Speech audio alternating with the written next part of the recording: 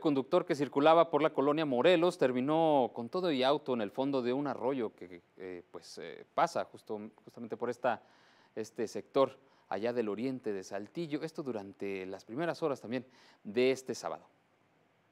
En el fondo de un arroyo fue donde terminó un automóvil luego de que su conductor volcara al transitar en completo estado de ebriedad por las inmediaciones de la colonia Morelos durante la mañana de este sábado. El percance ocurrió minutos después de las 6 horas, siendo protagonizado por Alfredo Ramírez Sánchez, de 31 años, quien circulaba de oriente a poniente por la calle 10 a bordo de un Chevrolet Aveo. El hombre manifestó que no se percató de que la vía terminaba y aunado a la falta de señalamientos, continuó su marcha hacia el arroyo, por lo que su automóvil cayó desde una altura de aproximadamente 5 metros y quedó con las llantas hacia arriba. Vecinos del sector salieron de sus casas al escuchar los gritos del conductor, por lo que reportaron la situación a través del sistema de emergencias 911, solicitando el apoyo de las autoridades. Paramédicos del cuerpo de bomberos acudieron al sitio y realizaron una valoración al hombre, con la que se descartó que hubiera resultado lesionado, aunque se determinó que se encontraba en estado inconveniente. Elementos de tránsito municipal tomaron conocimiento del accidente y aseguraron al automovilista, quien quedó a disposición del Ministerio Público, además de ordenar la extracción del vehículo siniestrado del fondo del arroyo.